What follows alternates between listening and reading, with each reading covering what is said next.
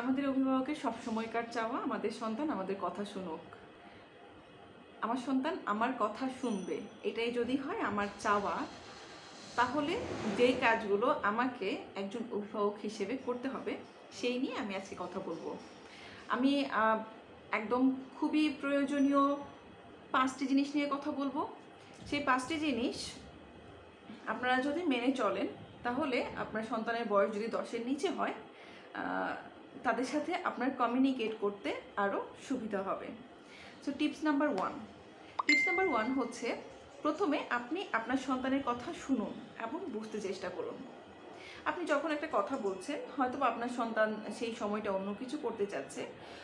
কোনো একটা খেলায় মগ্ন আছে, কোনো একটা কাজে সে ব্যস্ত আছে, সে আপনার কথা শুনতে চাচ্ছে না।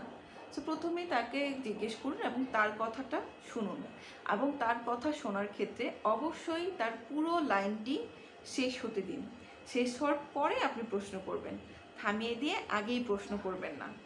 সো প্রথম কথাটি হচ্ছে তার কথা শুনতে হবে আপনাকে।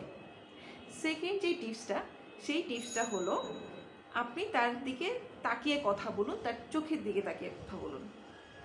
আপনি তার চোখের দিকে তাকান এবং সেও যেন আপনার চোখের দিকে তাকায়, এমন একটা ভাবে